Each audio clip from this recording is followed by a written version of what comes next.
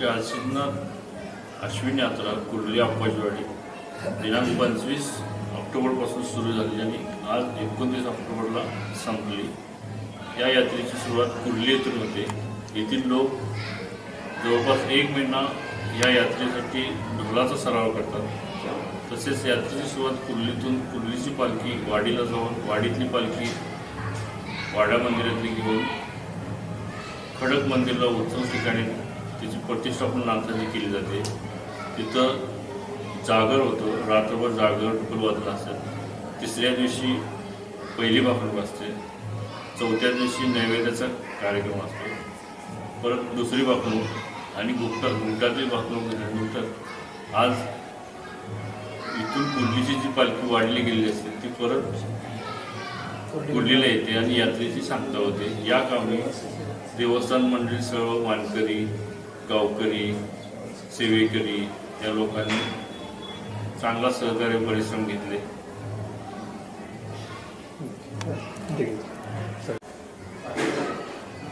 या संपूर्ण परिसराचं आराध्य दैवत श्री हरसिद्धनाथ यांची सालाबादप्रमाणे अश्विन यात्रा पंचवीस तारखेला सुरू झाली होती.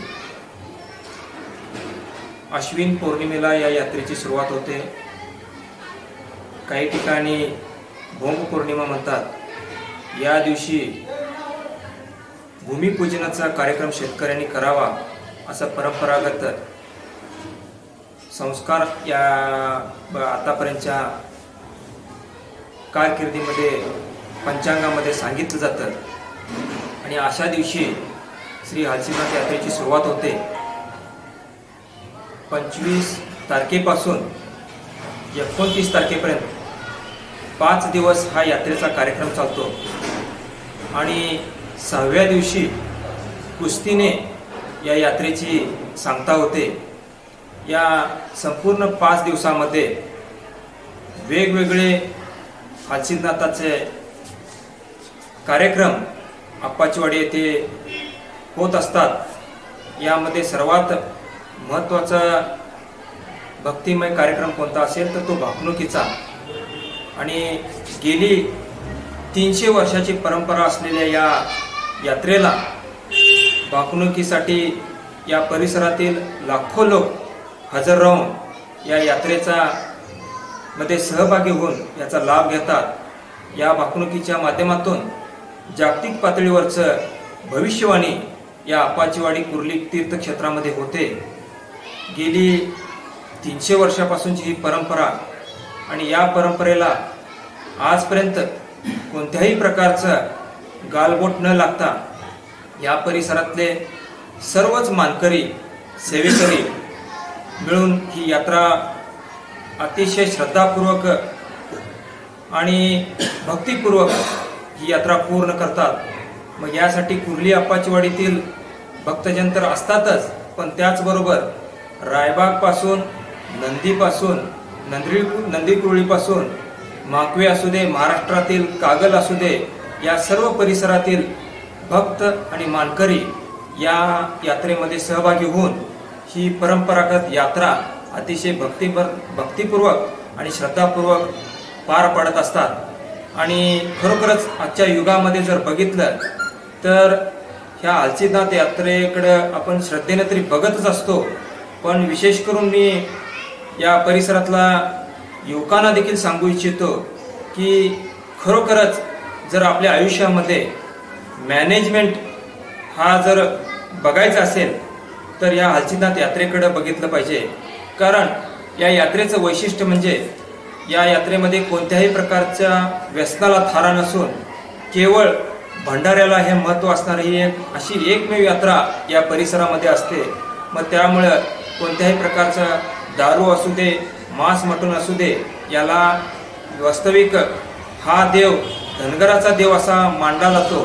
पण असं असलं तरी सुद्धा या ठिकाणी कोणत्याही प्रकारचं अनिष्ट अशी प्रथा या ठिकाणी या कार्यक्रम या यात्रेमध्ये केली जात नाही आहे आणि खरोखरच हे कुर्ली असू दे अप्पाचवाडीचे असू दे सर्व भक्तजन गेली तीनशे वर्ष ज्या ज्या लोकांनी परंपरागत आपली सेवा आपल्या अंगावरती घेतलेले आहे ते प्रत्येक जण पुढच्या पिढीनं आपल्या अंगावरती घेऊन ही यात्रा व्यवस्थितरित्या पार पाडतात. आणि खरोखरच या परिसरामध्ये जर मॅनेजमेंटचं उत्तम उदाहरण जर आजच्या भागातील लोक या भागातील युवकांना बघायचं असेल तर त्यांनी हलचिदनाथ यात्रा बघितली पाहिजे.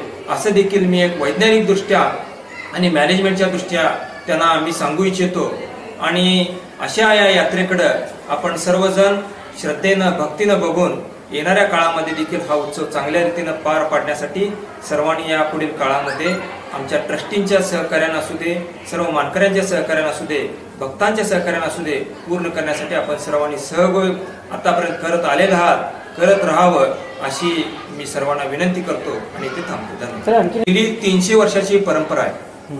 आणि या परंपरेनुसार जर बघितलं तर ज्या ज्या वेळी भाकणुकीचा संदर्भ या राजकीय पटलावरती असेल किंवा एखाद्या विशिष्ट घडामोडीविषयी असेल ज्या ज्यावेळी भाकणूक केली जाते त्या त्यावेळी भाकणुकीचे ते पडसाद पुढील वर्षामध्ये निश्चित आम्हाला दिसून आलेले आहेत. आणि त्याचं स्वतंत्र सगळीकडं उदाहरण म्हणून ज्या ज्या ठिकाणी त्याचं आम्ही सर्वांनी अनुभव पण घेतलेला आहे. उदाहरण सांगायचं झालं तर पाकिस्तान राष्ट्राबद्दलचं जर बोलायचं झालं तर या राष्ट्रामध्ये नेहमीच बंडाळी माजेल आणि हा पाकिस्तान राष्ट्र येणाऱ्या काळामध्ये जगाच्या नकाशावर नामशेष होईल अशा पद्धतीची भावणूक देखील या या- आमच्या देवस्थानच्या माध्यमातून आलेली आहे. आणि तसं आत्ताची परिस्थिती बघितली तर पाकिस्तान राष्ट्र आज पूर्णपणे या राष्ट्रामध्ये बंडाळी माजलेली देखील आपण बघितलेले आहे. तसंच बघितलं तर वेळोवेळी राजकीय उलतापलतेबद्दलच्या ज्या ज्यावेळी घटना या भाकणुकीच्या माध्यमातून आहेत त्या त्या पद्धतीच्या राजकीय उलतापालत देखील या भाकणुकीच्या माध्यमातून आम्ही अनुभवलेले आहेत.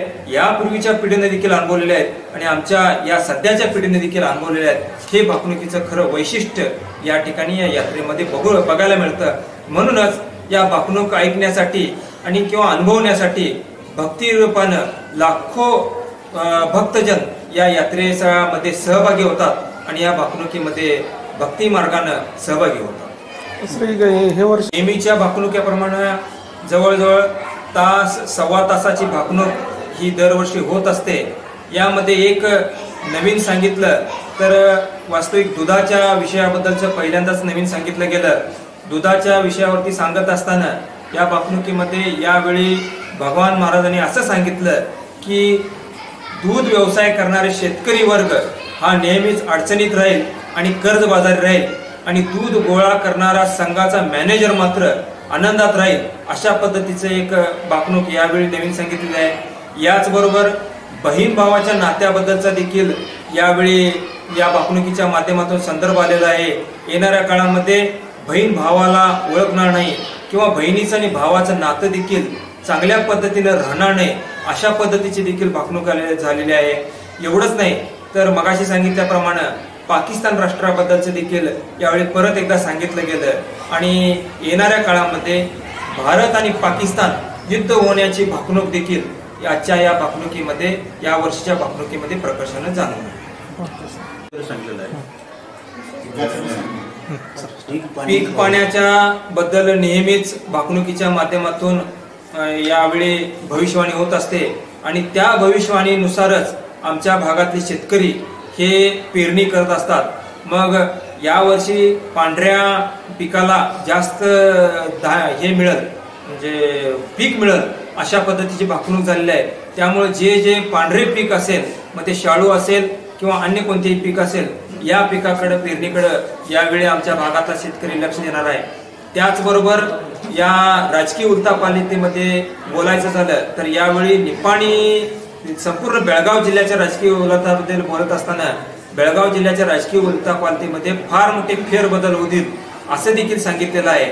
आणि पावसाबद्दलचं सांगायचं झालं तर येणाऱ्या काळामध्ये परत एकदा पावसाचं विजेच्या कडकडासाठी पावसाचं धारा पाडून मी भंडारा धुवून माझी यात्रा पूर्ण करतो अशा पद्धतीची भविष्यवाणी देखील या भाकणुकीच्या माध्यमातून आलेली आहे एवढंच नाही तर सीमा प्रश्नाबद्दल देखील यावेळच्या भाकणुकीमध्ये स्पष्टीकरण झालं आणि नेहमीच सीमा प्रश्न ह्या ह्या परिसरामध्ये चर्चेत राहील अशी देखील भाकणुकी यावेळी भविष्यवाणी वाचवण्यात आली ಸಿದ್ಧನಾಥ ದೇವರು ನಮ್ಮ ಗಡಿ ಭಾಗದ ಕುರ್ಲಿ ಅಪ್ಪಾಚಿವಾಡಿ ಗ್ರಾಮದ ಕರ್ನಾಟಕ ಹಾಗೂ ಮಹಾರಾಷ್ಟ್ರದ ಗಡಿ ಭಾಗದಲ್ಲಿ ಇರುವುದು ದೇವಸ್ಥಾನ ಈ ದೇವಸ್ಥಾನ ಮುನ್ನೂರು ವರ್ಷ ಹಳೆಯದು ಇವರು ನಮ್ಮ ದೇವರು ಹಲ್ಸಿದ್ನಾಥರು ನಾಥಪಂಥೀಯ ದೇವರು. ಇವರು ಕೊಳ್ಳಲ್ಲಿ ಗುಣಗಳಿಗಿದೆ ಕಂಬಳಿ ಇದೆ ಕಟಗಿ ಇದೆ ಜನಿವಾರವಿದೆ ಹಾಗಾಗಿ ಎಲ್ಲ ಸಮಾಜ ಜಾತಿಗಳಿಗೆ ಬೇಕಾದ ದೇವರು. ಎಲ್ಲ ಸಮಾಜ ಜಾತಿಗಳು ಕೂಡಿ ಇದನ್ನು ಐದು ದಿವಸ ಜಾತ್ರೆಯನ್ನು ಪೂರ್ಣಿಮೆಯಿಂದ ಅಂದರೆ ಈ ವರ್ಷ ಇಪ್ಪತ್ತೈದು ತಾರೀಕಿನಿಂದ ಇಪ್ಪತ್ತೊಂಬತ್ತು ತಾರೀಕಿನ ಮಟ್ಟ ಇದು ಜಾತ್ರೆ ಸಂಪನ್ನು ಆಗಿದೆ. ಅದೇ ರೀತಿ ಇಪ್ಪತ್ತ ಏಳು ಮತ್ತು ಇಪ್ಪತ್ತೆಂಟಕ್ಕೆ ಬೆಳಿಗ್ಗೆ ಭವಿಷ್ಯವಾಣಿ ಮುನ್ನೂರು ವರ್ಷ ಹಳೆಯದು ಭವಿಷ್ಯವಾಣಿ, ಜಾಗತಿಕ ಭವಿಷ್ಯವಾಣಿ ಮಾಡಿದ್ದಾರೆ. ಈ ಭವಿಷ್ಯವಾಣಿಗಳು ಮೂರು, ಮುನ್ನೂರು ವರ್ಷದಿಂದ ಎಲ್ಲ ಇವತ್ತಿನ ಮಠ, ಎಲ್ಲ ಸತ್ಯ ಹಾಕೋದು ಬರ್ತಿದೆ. ಅದಕ್ಕೆ ಸತ್ಯ ದೇವರಂತಾರೆ ಇವರು ಭವಿಷ್ಯವಾಣಿಯಲ್ಲಿ ಮೂವತ್ತ್ ಮೂರು ಕೋಟಿ ದೇವರುಗಳನ್ನು ಕರ್ಕೊಂಡು ಇಲ್ಲಿ ಇವರು ಇದು ಭವಿಷ್ಯವಾಣಿ ಮಾಡ್ತಾ ಇದ್ದಾರೆ ಅಂತ ಹೇಳ್ತಾರೆ. ಅದೇ ಪ್ರಕಾರ ಅವರು ಈ ಜಗತ್ತಿನ ಎಲ್ಲ ಭವಿಷ್ಯ ಇಲ್ಲಿ ಕುತ್ತೆ ನಡೆಸ್ತಾರೆ ಅಂತ ಈಗ ನಮ್ಮ ದೇವರು ಮಾತಾಡೋದು ಅದೇ ರೀತಿ ಇಲ್ಲಿ ಐದು ದೇವಸ್ಥಾನಗಳು ಹರಿಸಿದಪ್ಪನು. ಮೊದಲನೇದು ಕುರ್ಲಿ ಒಳಗೆ. ಈ ಸ್ಥಾನದಲ್ಲಿ ಬೆಳಗ್ಗೆ ಮತ್ತು ಸಂಜಿಕೆ ಪೂಜಾ ಆಗುತ್ತದೆ, ಆರತಿ ಆಗುತ್ತದೆ. ಅವರು ಇರೋದು ಬೆಳಗ್ಗೆ, ಸಂಜಿಕೆ ಇಲ್ಲಿ ಈ ದೇವರು ಇದರಲ್ಲಿ, ಕುರ್ಲಿ ಗ್ರಾಮದಲ್ಲಿ, ಮಂದಿರದಲ್ಲಿ. ಅದೇ ರೀತಿ ಎರಡನೇ ಸ್ಥಾನ ಅಂದರೆ ಅಪ್ಪಾಚಿವಾಡಿ ವಾಡೆಯಲ್ಲಿ. ಆ ವಾಡೆಯಲ್ಲಿ ಭಾಗುಬಾಯಿ ಅಂತ ಅವರು ತಂಗಿಯ, ಮಾನಸ ತಂಗಿಯವ್ರದ್ದು ಒಂದು ಮಂದಿರ ಇರುತ್ತದೆ. ಅವರನ್ನು ಕರ್ಕೊಂಡು ಬಾಗುಬಾಯಿಯನ್ನು ಕರ್ಕೊಂಡು ಇವರು ಜಾತ್ರೆಯನ್ನು ಮಾಡುತ್ತಾರೆ. ಅದೇ ರೀತಿ ಆ ದೇವರು ವಾಡ ಮಂದಿರು ಮತ್ತು ಬಾಗುಬಾಯಿ ಮಂದಿರು. ಅದೇ ರೀತಿ ಖಡಕ್ ಮಂದಿರ ಅಂತ ಮೂರನೇ ಸ್ಥಾನ, ಈ ಸ್ಥಾನದಲ್ಲಿ ಏಳು ದಿವಸ ವರ್ಷದಲ್ಲಿ ಜಾತ್ರೆ ಆಗುತ್ತದೆ. ಪಾಡ್ಯೆಯಲ್ಲಿ ಎರಡು ದಿವಸ ಮತ್ತು ಈ ಬಹುಮ ಪೂರ್ಣಿಮೆಯಲ್ಲಿ, ಅಂದ್ರೆ ಕಾರ್ಯ ಅಲ್ಲಿ ಇದು ಐದು ದಿವಸ ಜಾತ್ರೆ. ಅದೇ ರೀತಿ ಸಂಜೀವಿನಿ ಸಮಾಧಿ ಅಂತ ಗುಮ್ಮಟ ಮಂದಿರು, ಇಲ್ಲಿ ಇವರು ತಗೊಂಡಿದ್ದು ಸಂಜೀವಿನಿ ಸಮಾಧಿ. ಅದೇ ರೀತಿ ಕಾರಿ ಅಂತ ಒಂದು ಸ್ಥಾನ ಇದೆ. ಆ ಸ್ಥಾನದಲ್ಲಿ ಅವ್ರದ್ದು ವಿಶ್ರಾಂತಿಯ ಸ್ಥಾನ. ಹೀಗಾಗಿ ಐದು ಸ್ಥಾನ, ಐದು ಮಂದಿರಗಳು ನಮ್ಮ ಹಲಸಿದಪ್ಪನ ದೇವರ ಸ್ಥಾನಗಳು. ಇವರು ಬಹಳ ಸತ್ಯ ದೇವರು. ಇವರಿಂದ ಬಹಳ ಪವಾಡಗಳು ಆಗಿದ್ದವೆ. ಅದೇ ರೀತಿ ಕರ್ನಾಟಕ, ಮಹಾರಾಷ್ಟ್ರ, ಗೋವಾ ಈ ಎಲ್ಲ ರಾಜ್ಯಗಳಿಂದ ಹತ್ತು ಲಕ್ಷಕ್ಕಿಂತ ಹೆಚ್ಚು ಭಕ್ತರು ಬಂದು ಈ ಐದು ದಿವಸ ಜಾತ್ರೆಯಲ್ಲಿ ಪಾಲ್ಗೊಂಡು ಭಕ್ತಿ ಭಾವದಿಂದ ಇದನ್ನು ಜಾತ್ರೆಯನ್ನು ನೆರವನ್ನೇ ಹೋಗುತ್ತದೆ. ಅದೇ ರೀತಿ ಈ ಜಾತ್ರೆ ಇದ್ದ ದೇವಸ್ಥಾನದಲ್ಲಿ ಕುರ್ಲಿ ಗ್ರಾಮ ಅಪ್ಪಾಚಿವಾಡಿ ಗ್ರಾಮ, ಎಲ್ಲ ಮಾನಕರಿ ಸಾಹುಕಾರರು ಗೌಡರು, ಎಲ್ಲ ಥರದ ಮಾನಕರಿ, ಎಲ್ಲರೂ ತಮ್ಮ ತಮ್ಮ ಕೆಲಸ, ತಮ್ಮ ತಮ್ಮ ಪರವಾಗಿ ಮಾಡಿಕೊಂಡು ಅವರು ಈ ಜಾತ್ರೆಯನ್ನು ನಿರ್ವಹಿಸ್ತಾರೆ ಹಲಸಿದಪ್ಪನು ಬೇರೆ ಬೇರೆ ಗ್ರಾಮದಲ್ಲಿ, ಬಹಳ ಗ್ರಾಮದಲ್ಲಿ ದೇವಸ್ಥಾನಗಳು ಇದೆ. ನಿಪ್ಪಾಣಿ ಬಾಟ್ನೂರು ನಂದಿ ಕುರ್ಲಿ. ನಂದಿಕುರ್ಲಿ ಹೀಗಾಗಿ ಕರ್ನಾಟಕ, ಮಹಾರಾಷ್ಟ್ರದಲ್ಲಿ ಬಹಳ ಬಹಳ ಆಮೇಲೆ ಗೋಕಾಕ್ ತಾಲೂಕದಲ್ಲಿ ಬಾರ್ಡರಲ್ಲಿ ಒಂದು ಒಂದು ಗ್ರಾಮ ಇದೆ. ಅಲ್ಲೂ ಇದೆ. ಗೋಸರವಾಡದಲ್ಲಿದೆ ಹೀಗಾಗಿ ಎಲ್ಲ ಕಡೆ ಹಂಚಿದಪ್ಪನ ಸ್ಥಾನಗಳು ಇದೆ. ಇವರಿಗೆ ಹಾಲು ಬಹಳ ಸಿದ್ಧಿ ಪುರುಷರು. ಇವ್ರಿಗೆ ಹಾಲು ಬಹಳ ಪ್ರಿಯ ಇತ್ತು. ಅದಕ್ಕೆ ಇವರಿಗೆ ಹಾಲು ಸಿದ್ಧನಾಥ್